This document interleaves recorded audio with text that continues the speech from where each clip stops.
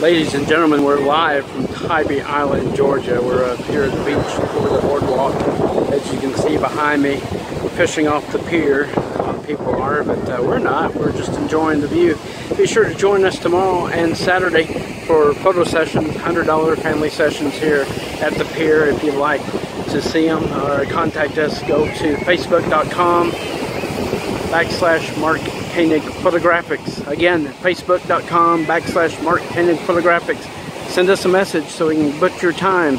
Tomorrow it will be 2 p.m. to 6 p.m. and on Saturday all day. So be sure to book your session with us and enjoy the sunshine.